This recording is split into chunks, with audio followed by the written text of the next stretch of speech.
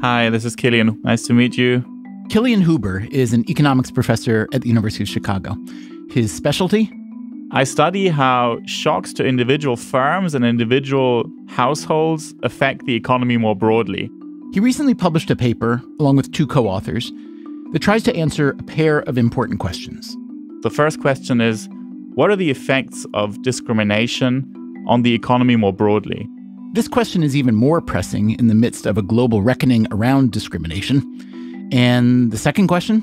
The second question is What types of individuals are most important in the economy? So, what if you lose highly qualified, highly skilled top executives, top managers? How does that affect the economy? You might think Huber was asking these questions in the context of the so called Great Resignation. That's the trend driven by the COVID 19 pandemic of people quitting their jobs to find something more meaningful. But no, that is not the context Huber was thinking about. He was thinking about discrimination in the 1930s in Germany, discrimination against Jewish business executives.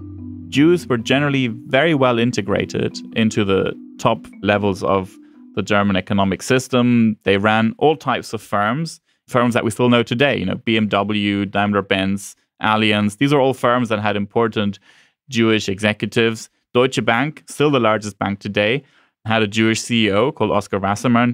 But in 1933, the Nazis came to power. The Nazi ideology was extremely perverse. One element of that perversion was a complete and ultimately violent discrimination against Jews. Once the Nazis came to power in early 1933, firms started dismissing their Jewish managers relatively quickly. By mid to late 1933, around a third of the Jewish managers had already left their firms. By 1938, virtually no Jewish individuals remained in the German economy just how central had Jews been to the German economy? So the Jewish population share in 1930s Germany before the Nazis came to power was just under 1%, around 0.8%. But Jewish individuals held around 15% of senior management positions in 1932, so way larger than their population share. In Berlin, about 5% of the population were Jewish, but Jews paid over 30% of the taxes in the city. The story of Jewish accomplishment in early 1930s Germany could have been told one way as an astonishing triumph of a tiny minority. But Adolf Hitler turned it into a thoroughly different story, one of the most grotesque manifestations of human hatred. Many of those Jewish business executives and their families would be murdered in German concentration camps, part of a Nazi genocide that would total at least 6 million Jews. Given the enormity of the Holocaust, you might think that a researcher like Kilian Huber would study something more noteworthy than how the removal of these Jewish executives affected the German economy. But that's exactly what he was interested in for two reasons. One is that Huber grew up in Germany. I actually left Germany when I was 13. I moved to India and then to England. The second reason is simply that Huber studies the economics of discrimination. And while the Nazi purge of Jewish business executives may be a particularly heightened example, it is hardly the only example. In Uganda, in the 1970s, Asians made up less than 1% of the population, but they owned 90% of businesses. That's 90% of businesses, and they paid 90% of tax revenue. In 1972, all of them were expelled by Idi Amin, the dictator at the time. There are plenty of even more recent examples. So in Turkey, for example, several thousand top managers who follow the cleric Fethullah Gulen were expelled, had to leave the country. In the UK, immigrants were being blamed for economic troubles. In the US, there was also a movement against certain immigrant groups. For example, Trump enacted a ban on travel from Muslim majority countries. Today on Freakonomics Radio, what did Huber learn about the effects of discrimination on the German economy? So, this is the amazing thing. Also, the Jews in Germany, while a tiny minority, were an established presence who were removed from the economy. What about when a minority isn't allowed to participate in the economy at all? The Ford business is a white man's business, and we do not want any Negroes in it. One way to fight discrimination today is to create diversity policies. How is that working out? This paper is not meant to bash any sort of mandated diversity policies, but just to highlight one potential negative consequence. The economics of discrimination. It's even thornier than you'd think.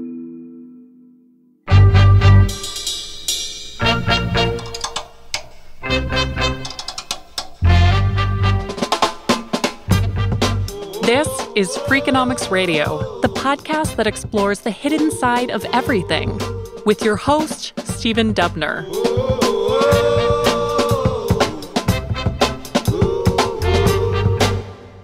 Anti Semitism is one of the oldest recorded forms of what today we call discrimination, although the phrase anti Semitism is actually a misnomer. Semites are people who shared a common language a couple millennia ago, including Jews and Arabs and many others. So, an anti Semite should theoretically also discriminate against the more than 400 million Arabs in the world today. Instead, the term is reserved for Jews, of whom there are only about 15 million. So, when we say anti Semitism, we should really just say anti Jewish. Anti Jewish sentiment has a long and infamous history expulsions and exiles, periods of relative peace and prosperity punctuated by scapegoating and brutal assault. In the modern era, the scapegoating has often arisen from a simple question How can this tiny minority produce such an outsized share of successful individuals in business, science, and elsewhere? Jews today make up about one fifth of 1% of the global population, but account for more than 20% of all Nobel Prizes. And remember what Kilian Huber told us about the German economy before the Nazi takeover. Jewish managers held around 15% of senior management positions, so way larger than their population share. How can this be explained? One factor is that education and literacy have always been central to the Jewish experience. So, a lot of research has been devoted to the question of why Jewish individuals often tend to have higher education levels than others. We don't, I think, have a complete answer to this. Some people believe that it might be about a culture of reading the Torah, a culture of engaging with scripture that might be more important in Judaism than in other cultures. There's also a propensity toward analytical reasoning, whether derived from religious tradition or Jewish culture. There's an underlying acknowledgement in Judaism that life is complicated, that the world is in need of repair, and that the proper way to engage with an idea is, in the words of one ancient Jewish sage, to turn it and turn it, for everything is in it. In a book called Genius and Anxiety How Jews Changed the World, 1847 to 1947, the author Norman Lebrecht puts forth another possible explanation for the high level of Jewish achievement. Jews in the 19th century and the first half of the 20th century, he writes, are gripped by a dread that their rights to citizenship and free speech will be revoked. Great minds are driven by a need to justify their existence in a hostile environment and to do it quickly before the next pogrom. Whatever the case, at the beginning of the 20th century in Germany, there were a great many Jews at the highest levels of industry, academia, the arts, and elsewhere. Kilian Huber, when he began his research, wasn't aware of this. Yes, I was surprised to learn that Jewish individuals were in so many important positions. And I was also surprised how quickly large firms turned on them. Hitler came to power at a time of deep political and economic upheaval in Germany. In the aftermath of Germany's defeat in World War I, the Allies had imposed heavy reparations. That burden now intersected with a worldwide recession, sending Germany even further into distress. When Hitler and other angry Germans started looking around for internal scapegoats, the Jews provided a familiar target. As long as you had a Jewish grandparent, as long as you had what they would call Jewish blood, you would have been targeted by the Nazis. Which quickly led to the removal of even the top executives of the most successful German firms if they happened to be Jewish. So this wasn't the Nazi government directly becoming involved, but this is where the firms preemptively adopting Nazism and anti Semitism and pushing out these individuals. So, you know, Oskar Wassermann, he had to leave by June 1933 Wassermann, remember, was the CEO of Deutsche Bank. The Nazis came to power in late January 1933. So there's a huge turnaround in attitudes after the Nazis came to power. And so if you converted to Christianity, if you intermarried with Christians, if you really were in no way a religious Jew anymore, the Nazis would still target you. And these people were all expelled from their positions and often died horribly in the Holocaust. You write that the Nazi government did not pass any laws that explicitly forced private firms to dismiss Jewish employees before 1938. Nonetheless, many Jewish managers lost their positions as early as 1933. Can you explain that further? Was it just base anti Semitism? Were firms trying to preemptively appease the Nazis? There was legislation earlier that forced Jews out of the public sector.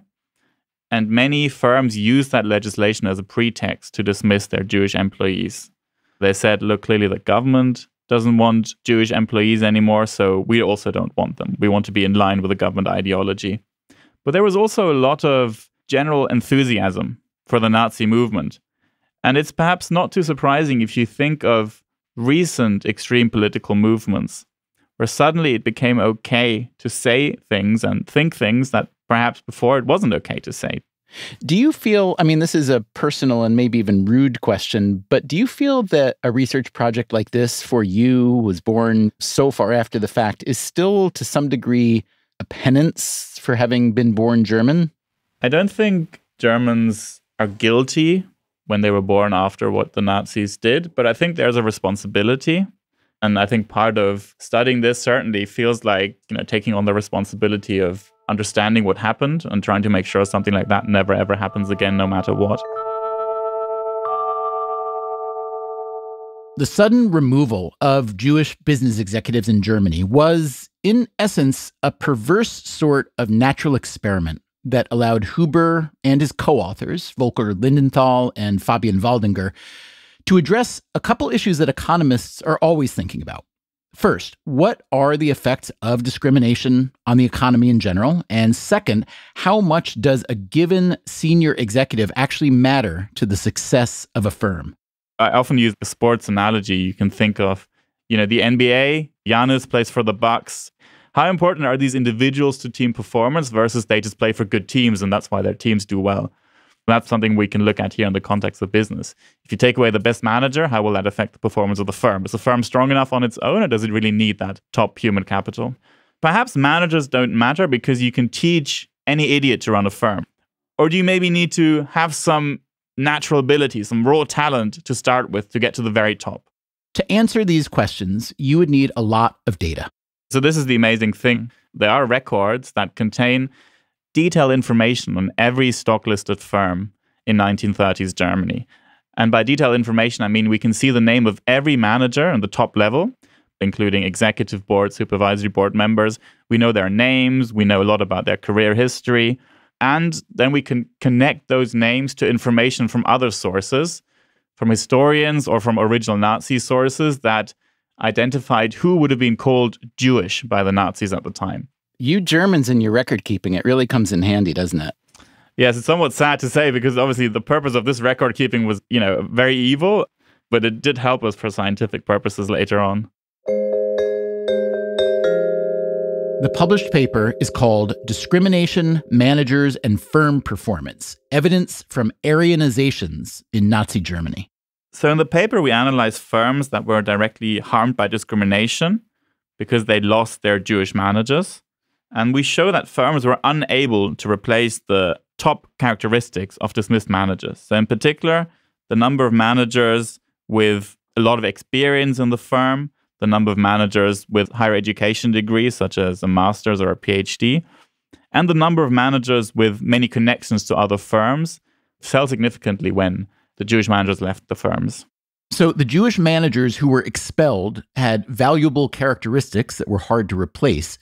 But how did their expulsion affect the firms?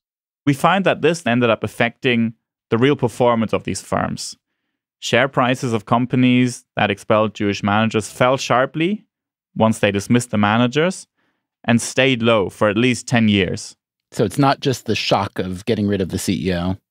That's right. So it's not just a transition effect. in the sense that you might struggle for a year or two while you're trying to find a replacement. Up to 10 years later, these firms are still doing worse than competitors. So there seems to be a really persistent effect of losing top managers. We also find that it's not just the share prices. We find that profits went down. We find that efficiency of the firms went down.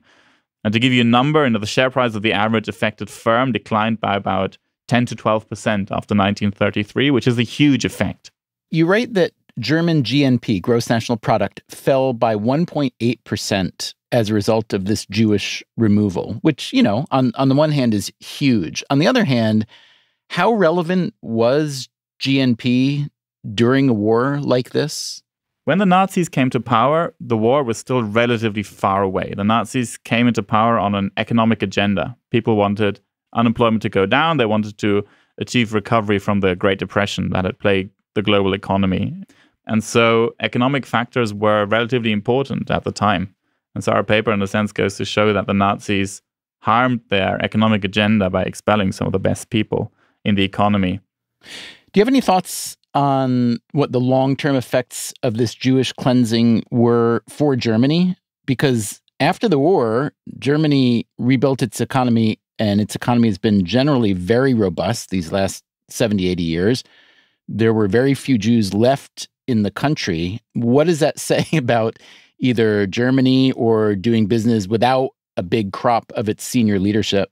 So to me, it suggests that Germany probably would have done even better if it had not lost that amazing human capital of Jews. The fundamental drivers of economic growth are ideas, innovation, good people. And these are the ones that clearly weren't quite there to the same extent anymore. When this kind of racial or ethnic or other cleansing happens, and unfortunately, there are many examples around the world throughout history, including this century, it still goes on. It wouldn't seem that the goal is usually an economic one, right? It's discriminatory or political or religious or whatnot. So the perpetrators probably aren't even thinking about the long term economic consequences. Should they be? Should your findings perhaps serve as an incentive to rethink this kind of discrimination, or is that a ridiculously Pollyannish way of thinking about how the world works?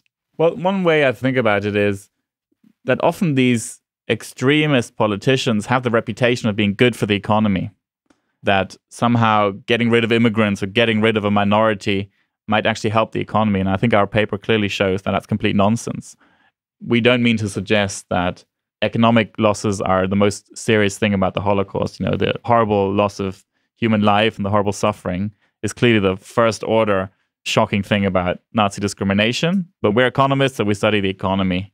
So you've measured the effect of the removal of a discriminated class. How do you measure the omission of a discriminated class when some group is not allowed to even enter the economic or political or cultural mainstream in the first place?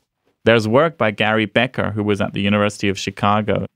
And his theory suggests that whenever people have some dislike of a subgroup, that will have economic effects. In particular, it will harm the discriminated, but it will also harm the discriminators economically because the discriminators are foregoing economic benefits from interacting with that discriminated group. For example, if you're not willing to hire highly talented women or highly talented black people in the US, then you're missing out on that talent. And therefore, your firm and your country is going to do worse. This theory of Gary Becker's came to be known as taste based discrimination. Another model of discrimination is called statistical discrimination.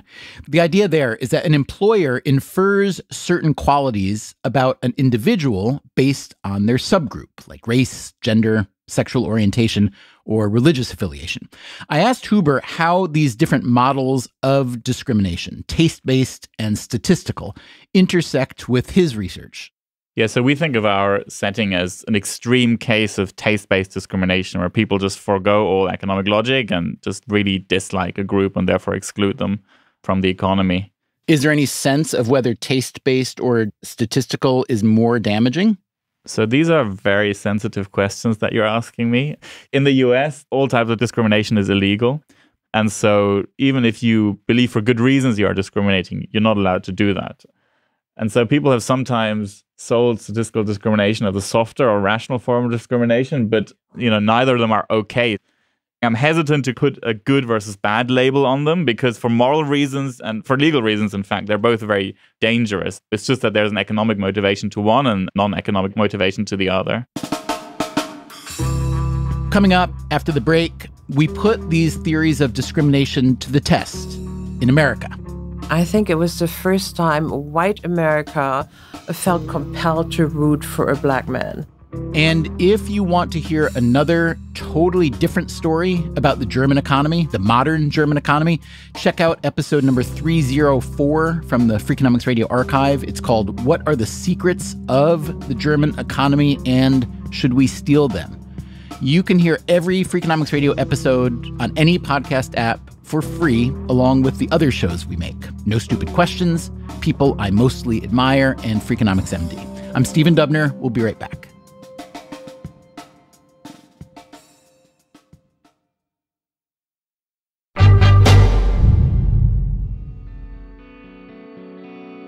There are many forms of discrimination and many channels. So, if you're trying to measure the economic costs of a discriminatory act, you need to consider the particulars.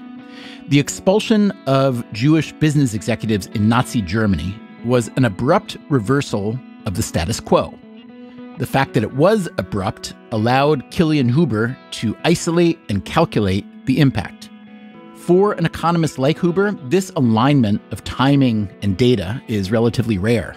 So you need a large shock to attitudes about a minority. And then you need people to act on these changes. And you need to make sure that you can then trace how these changes in attitudes ultimately affected firms and affected people in the economy. More common, however, are forms of discrimination that prevent a discriminated group from fully assimilating into society and the economy altogether. Consider, for instance, the story of the great American boxer Joe Louis. He was a black man born in Alabama who moved with his family to Detroit when he was about 12. Joe Louis became an obsession for me and remains so. That is Silke-Maria Weineck. I'm a professor of comparative literature and German studies at the University of Michigan. And what does a German studies and comp lit professor have to do with Joe Louis and discrimination in America? I was dreading that question. I came to Joe Louis because I was co writing a book with Stefan Szymanski about sports in Detroit. Szymanski is a sports economist, by the way, also Weineck's colleague at Michigan and her partner as well. I was a lot more interested in Detroit and in the narratives around sport because sport is really the biggest global cultural practice. And we in cultural studies, I think, have uh, neglected it to our peril. As you can perhaps tell from her accent, Weineck, like Kilian Huber, is German. I grew up in Münster in northwest Germany. I came to America in 1987, first to Johns Hopkins and then to the University of Pennsylvania. Got married, had kids, got stuck in this country, and then had the, the great good luck to land this job at the University of Michigan, where I have been since 1998. The book she and Szymanski wrote is called City of Champions A History of Triumph and Defeat in Detroit. Weineck's research led her to this conclusion Joe Louis is without a doubt the most important athlete Detroit has ever produced. In examining the history of sports in Detroit, Weineck found that sport was in constant collision with race and with industry, especially the auto industry. Detroit was shaped by successive waves of migration and immigration, beginning with migrations from Eastern Europe and from Germany, and then later the great migration from the American South to the American North. The big player in this whole development was without a question Henry Ford and his $5 a day promise to his workers. And what was new and unheard of was that Ford actually paid the same wages to black workers as to white workers.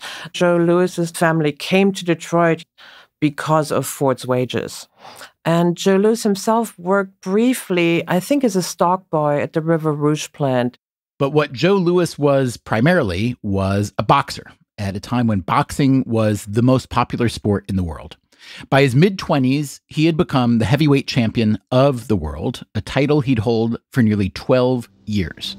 He was known as the Brown Bomber, and he was an icon. Hey, your people's going out tonight.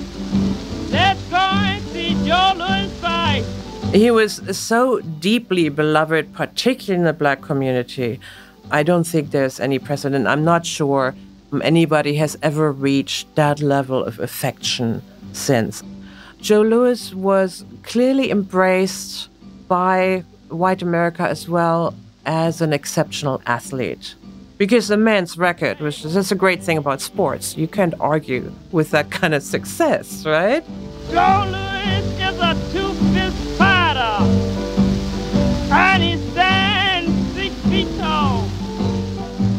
One reason Joe Louis became so popular in America was because of a pair of fights he had with Max Schmeling from Nazi Germany. The first fight took place relatively early in Louis's career in 1936. It was at Yankee Stadium in New York, and Schmeling won in a 12th round knockout. The rematch took place in 1938, again at Yankee Stadium. By now, Louis was the heavyweight champion. By now, the Nazi regime had overtaken Austria and was well on its way to war. Inside Germany, the purge of Jewish business executives, scientists, and others was also well underway. Schmeling himself apparently did not embrace Nazism, but this nuance was lost in the buildup to the second Schmeling Louis fight. This is the feature attraction 15 rounds for the world's heavyweight championship. Max Schmeling was seen as not just Hitler's favorite boxer, but practically as an embodiment of Hitler's regime.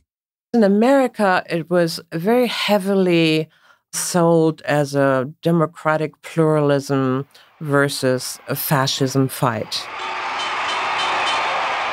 In Germany, that was actually not the case because the Nazis were heinous, but they were not all stupid and they knew that Joe Louis had a very good chance of winning this. Louis, right and left to the head, a left to the jaw, a right to the head. 70,000 people in Yankee Stadium, 100 million people listening on the radio. Biggest sports event to date ever. Is going down. And it's over in two minutes and four seconds. And Schmeling is down. The count is five, five, six, seven, eight. The men are in the ring. The fight is over on a technical knockout. First round knockout, Louis not just winning, but Max Schmeling being transported to the hospital post haste. And in a later interview, uh, Louis will say that Max Schmeling was the only opponent he ever wanted to hurt. I think it was the first time white America felt compelled to root for a black man. The celebrations were just enormous. Tallulah Bankhead, you know, screaming her head off, and Woody Guthrie cables in. Everybody's watching this, right? Absolutely everybody. The celebrations in black neighborhoods last for days. So, Joe Louis was an American hero, and he kept the world heavyweight title for another 10 years. By 1948, he wanted to hang up his gloves. The war was over. Louis was in his mid 30s. So, what did the world's most beloved athlete want to do for his second act? So, his idea was he wanted to sell Fords. Ford was one of his first jobs, and he wanted to open his own Ford dealership. As Weineck learned in her research, Joe Louis met personally with Henry Ford II, who was by now the company's CEO. Louis now lived in Chicago, and that's where he wanted to open a dealership. Ford then deputizes his general sales manager, Walker Alonzo Williams, to test the waters and to get the reactions of dealers and general managers. To test the waters because Joe Louis would be the first black person to run a Ford dealership. And a file of these responses were in Williams' estate. With the help of an archivist at the Benson Ford Research Center, Weineck was able to track down this file. Its existence was apparently unknown to any previous biographers of Joe Louis. And so I get this file, and you open the PDF, and the stench rises from your computer screen. The file included 32 memos from Ford dealers and district managers around the country. They were responding to a question from Ford headquarters. I think the question was we have had an inquiry from Joe Louis, who seeks to open a Ford dealership in Chicago. What is your reaction? Do you think this would set a precedent? What's so interesting in the responses, and I'll read you some of them, that every single one understands that the question is should we let a black man sell Fords? As opposed to should we let Joe Louis open a dealership? Is that what you mean? Exactly, as opposed to is Joe Louis a good car salesman? Or is Chicago a good market right now? People don't even pretend it's about anything other than race. Here, from the archive, are some of the excerpted responses. The Ford business is a white man's business, and we do not want any Negroes in it. Another one. The writer is bitterly against the possibility of the appointment of Negro dealers and lacks words to express his feelings against the idea. Here's another one. If we wish to pioneer a principle of American democracy in business of the nature of an appointment of this kind, it is my opinion that this is not the proper time nor the proper party involved. I assume Joe Louis didn't get a Ford dealership. he did not get a Ford dealership, you'll be surprised to hear. Neither did any other black men until the Civil Rights Act passed. Now, there may have been other reasons to deny Joe Louis a Ford dealership besides the fact he was black, but the rejections, at least the ones that found their way into the archive, were united in their focus on race. I asked Weineck whether Ford or the other big three automakers discussed having black dealers, if only to appeal to black buyers. What a lot of these guys say is look, there are no black dealers. Where else a black buyer is going to go? Also, a lot of the dealerships hired black salesmen, which would be kept off the lot, which would operate off site, would exclusively deal with black clients. But appointing a black dealer is, of course, a different thing because a dealer is not just an employee, he's an employer. And Joe Louis, I Will Die on That Hill, would have sold a lot of cars. he would have cornered the black market in the Midwest and beyond. I mean, you have your basic economic theory that says discrimination is stupid, it's bad for business, right? This goes back to the Gary Becker theory of discrimination. When firms discriminate, they're leaving money on the table. There's also the theory that diversity creates opportunity. Kilian Huber again. And there is, in fact, some theoretical work by colleagues of mine that suggests that a large share of US economic growth in the last century was due to the removal of barriers facing women and facing black people and getting to the economic positions that their talents deserve. It is, of course, hard to say what sort of economic position any one person might achieve. Joe Louis was one of the best boxers ever. You could imagine his athletic afterlife would have been much better if he'd simply been white. As it was, he fell deep into debt, to the IRS especially, and drug addiction. In his last years, he worked as a greeter at Caesar's Palace in Las Vegas, and he died in 1981. He was 66 years old. What always gets me really in the gut is that Max Schmeling, Hitler's favorite boxer, did extremely well, lived to a very old age, but not only that, he was awarded the Coca Cola franchise for Northern Germany. So if you think of the iconic American products, you probably have Ford right up there, and then you have Coca Cola at the very top. So the former Nazi boxer gets to sell Coca Cola, becomes immensely rich, dies at a very ripe old age, whereas the proponent of democracy, American pluralism, and apple pie dies poor, unhealthy, and as a greeter at Caesar's palace. Did you have conversations with anyone at Ford once you discovered these letters? I have not had conversations with Ford themselves. I would very much like to talk to Ford about naming a plant, a building, or something after Joe Louis in a kind of belated act of reparations for this really horrendous file. Do you think that would be a successful act of reparations or would it feel like window dressing? I mean, they literally turned the guy down. I'm in a business where we have to think that symbols matter, right? That symbolic acts do matter. They can never substitute for actual reparations. I'm not saying, oh, name a plant after Joe Louis and you're done. I think in the end, of course, Ford can change this, and Ford can change this by investing. By investing in black dealerships, you need a lot more capital now to start a dealership because they're so much bigger than they used to be. Ford could also make sure that black owned dealerships are placed in the best locations where they actually have the best chance of succeeding. According to the National Association of Minority Auto Dealers, fewer than 2% of Ford dealerships have a black owner. Barely 5% are owned by any minority. A recent paper by three economists looked at discriminatory hiring within Fortune 500 companies. They found that five of the top 10 discriminatory firms were auto retailers. These days, of course, many firms and institutions are trying to undo and reverse the discrimination that's been standard operating procedure for most of history. Many institutions have adopted a DEI program that stands for diversity, equity, and inclusion. This can often include a diversity mandate with set targets for minority hires. This suggests a fundamental economic question if discrimination can be costly for firms, what sort of benefits are created by diversity? This is a good question. Sophie Calder Wang is an economist at the Wharton School at the University of Pennsylvania. She and two co authors, Paul Gompers and Kevin Huang, recently published a study examining this question. The particular setting is an MBA program at Harvard Business School.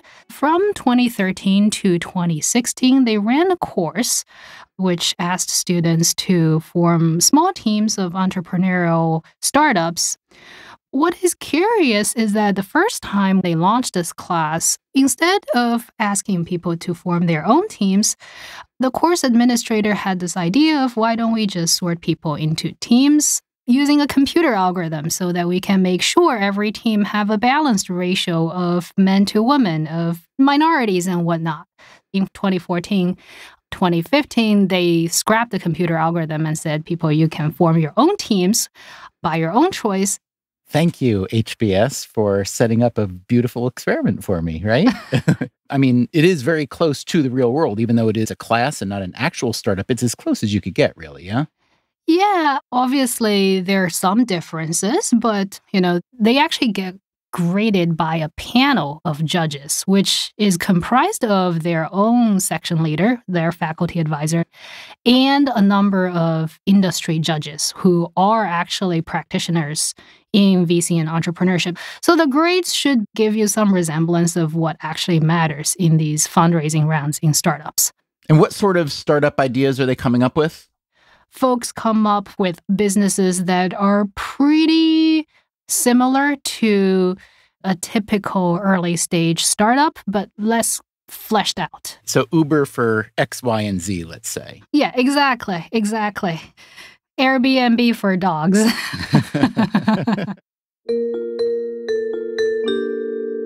What Calder Wang would be measuring then was the performance of groups that were assembled by the algorithm versus groups where the members chose themselves. The Harvard Business School data that she analyzed covered four years of students. So this was basically a thousand students each year, so 4,000 students in total each team is about five to six people, so you wind up with something like a thousand teams, which in the realm of firm level outcomes is a decent sample. I know in the world of big data, a thousand is tiny. But in the world of most academic experiments, this is gigantic. Yeah, exactly. How do you control for intelligence and talent and connections? We control, for lack of a better word, the ranking of their undergraduate institutions. We control for whether they have worked in the startup sector before. And uh, to the extent that you think a certain demographic group is just disproportionately more prepared than other groups, we actually can also control for just a fraction of, say, white students. What about GMAT scores? Are you including that? If you can help me convince the administration to share with us the GMAT scores, we're working on that because we want to make sure the errors are not biased. The student population was a relatively diverse mix of men and women from various ethnic and racial backgrounds. Calder Wang found that when students could choose collaborators for themselves, the groups were significantly less diverse than when the algorithm created intentionally diverse groups. Given how human beings work, you probably don't find this surprising. So, how did the organically chosen groups perform compared to the randomly assigned groups? or what Calder Wang calls the forced diversity groups. What we find in the randomly assigned cohort, one standard deviation increase in diversity leads to about 15% degradation in their performance. Whereas in the organic formation teams, one standard deviation increase in diversity is only about 3 to 5% degradation in performance. So we're talking about a three to five times difference, right? Yes, yes. In other words, when people were allowed to choose on their own, when people were allowed to choose on their own, diverse teams perform just fine. The problem lies when you are forced to work together in the diverse team. And that's why I've manufactured this word of forced diversity as opposed to organic diversity we always have this notion that diversity might lead to better performances. And we were actually fairly annoyed because we found the coefficient to be negative. What are we to make of this finding? I mean, what are the mechanisms by which those teams do worse? So, what we are finding is when people are matched with teams that are the same in terms of both gender and ethnicity, these teams do much better than teams that mismatch on both dimensions or on either dimensions, actually. It's not like one subgroup is the biggest culprit, as far as we can tell. Now, I'm sure communication is a component to it, but at that point, I'm also guessing. I have to say, when I read your research and then I read, let's say, the Wall Street Journal talking about how American firms in particular are moving toward what I guess I would now call, thanks to you and your research, forced diversity, right? Yeah. So let me just read you here. An analysis released in June found that nearly 75% of new independent directors at companies in the S&P 500 are women or belong to a racial or ethnic minority. So that's a massive jump. Furthermore, NASDAQ has recently required that listed companies need to meet certain minimum targets for the gender and ethnic diversity of their boards or explain in writing why they aren't doing so. Now, I think most people would look at that movement and say, well, it's about time, right?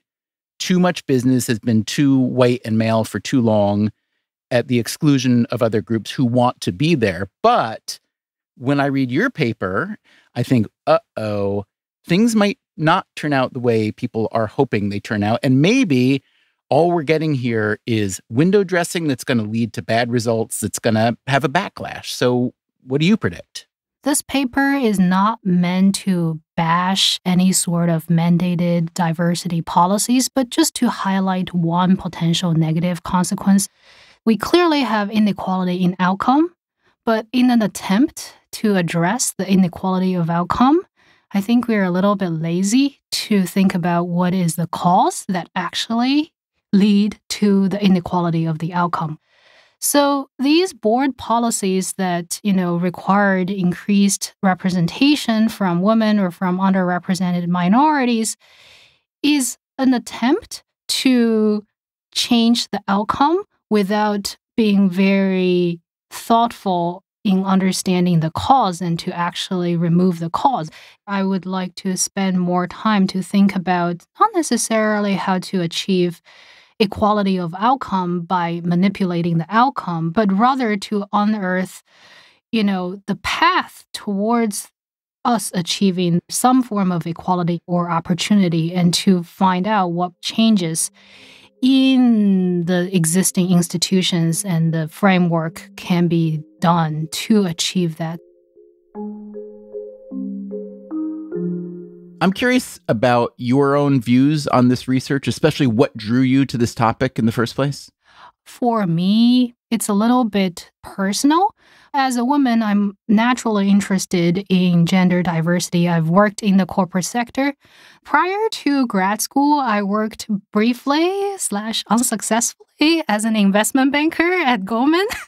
and I very much admire the efficiency and the business savviness exhibited by the firm. But on the other hand, it struck me as a corporate environment that is very challenging for the woman to thrive. The nature of the work is such that it is inherently a very difficult trade off. The underlying challenges of childcare, for example, So, an economist like Claudia Goldin, the labor economist, in examining the gender pay gap, she's noted that a lot of the pay gap is due to, you know, sorting, occupational sorting. So, a female lawyer, rather than maybe becoming a partner in a top tier firm because of the demands that make it very difficult to have a family, will sort into, let's say, general counsel. I'm curious for you, did you sort into academia for a similar reason? I wouldn't deny it. It's not that I work any less harder in academia. To be honest, I feel like it was a process for someone who is an immigrant, who is not white, whose first language is not English, to fit into a fast moving corporate environment. I was sitting across the table from numerous 80 year old banking CEOs. I find it very difficult to convince them why this proposal makes any sense for them. Where did you grow up, Sophie? I was born in China. I went to school there until about middle school and then a few years in India before immigrating to the United States. So let's say we assume that the presence of someone like you, you yourself, Sophie Calder Wang, would be beneficial to an investment bank because not only do you bring a different set of experience, but you have a different perspective. And banking is, you know, it does involve humans to a large degree. So if I want to think holistically, and I really do believe that diversity is good from a moral perspective and a business perspective, which many people now at least profess to believe those two things. but I hear you saying that personally for you, it was very difficult. And empirically, you've shown that forced diversity, at least, is not very successful. What's to be done? That is the million billion dollar question and the moral question. Not all the like the right work is the easy work. So some work is going to be hard and you may not see direct impact immediately. Sophie Calder Wang has written another paper that gives some reason for optimism. In an analysis of venture capitalists, and that's a field that is overwhelmingly male, she found that parenting more daughters leads to an increased propensity to hire female partners. She also found that greater gender diversity, not forced by an algorithm, but driven by the experience of having a daughter, improves deal and fund performances. Obviously, we can't require everyone to parent daughters and go through the challenges of that. But you could require every CEO to adopt a baby that is of a different ethnic background than themselves, right? You could require the CEO to spend a weekend uh, doing something that they normally would have never thought of doing, right? I mean, there is a limit to what you want to require, but I think an awareness and a willingness to walk in another person's shoes is a great display of sympathy and understanding, even if it's not about performance. I thought back to Kilian Huber's research about the Jewish business executives in Germany, expelled first from their jobs, then their homes, many of them ultimately murdered by the Nazis.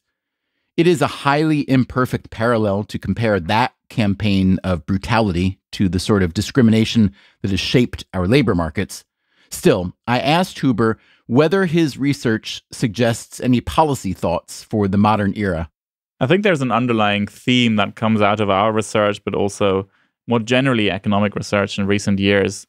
And that theme is good people are really important. And to a large extent, what drives economic growth is the presence of good people. And so, whatever governments can do to try and stimulate good people into coming up with good ideas will be key. I also asked Huber how he had been taught about the Nazi era in school.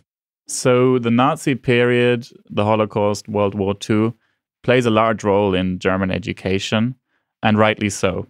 I asked the same question of Silke Maria Weineck, who also grew up in Germany. It was absolutely central to almost every curriculum, whether it was literature or history or social studies. It was everywhere. Germany took it extremely seriously at the time I went to school. People are extremely aware, and it defines the culture of modern Germany to a large extent. When I came to America, a lot of Americans assumed that Germany would have buried this history and that I would know nothing about it, which is just the oddest misunderstanding to me. I think that it's still important to try and not only treat it as something that's in the history books, but try and live with the history, wrestle with it, and try and make it come alive in all its horrible form. You learn about a lot of the parallels that appear between Nazi Germany discrimination and modern discrimination, and perhaps you can contribute to preventing those horrendous types of discrimination in future. Thanks to Kilian Huber, Silke Maria Weineck, and Sophie Calder Wang for sharing their research and insights today. Thanks also to the archivist Sam Rood for sharing with Weineck that file of letters about Joe Louis. We always value feedback from you, so let us know what you think of this or any episode. We are at radio at freakonomics.com. Freakonomics Radio is produced by Stitcher and Renbud Radio. This episode was produced by Zach Lipinski. Our staff also includes Allison Craiglow, Greg Rippin, Joel Meyer, Tricia Bobeda, Mary Duke, Ryan Kelly, Jasmine Klinger, Emma Terrell, Lyric Bowditch, Eleanor Osborne, and Jacob Clemente. Our theme song is Mr. Fortune by the Hitchhikers. All the other music was composed by Luis Guerra. You can get the entire archive of Freakonomics Radio on any podcast app. If you want to read a transcript or the show notes, that's at freakonomics.com. As always, thanks for listening. It's always a bit of a cliche, right? It's kind of white, woke academics go to Detroit and fall in love with it. A lot of Detroit is very annoyed by people like us. I'm annoyed by you, and I don't even live there. I just want to say.